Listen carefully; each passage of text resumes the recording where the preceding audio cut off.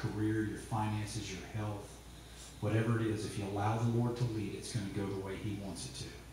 That's all that matters. The words of that song says, "Not my will, but yours be done, Lord. Not my will, but yours be done." That's all we ask. So as we get ready to sing this next song, what does it say? It says, Lord, I have faith. I understand what it is you're asking me to do. And because I love you, I will go. I'm going to step forward in faith, Lord.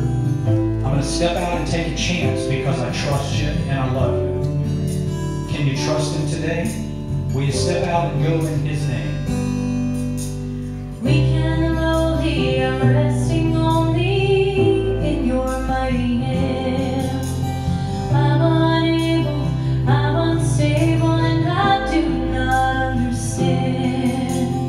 There is no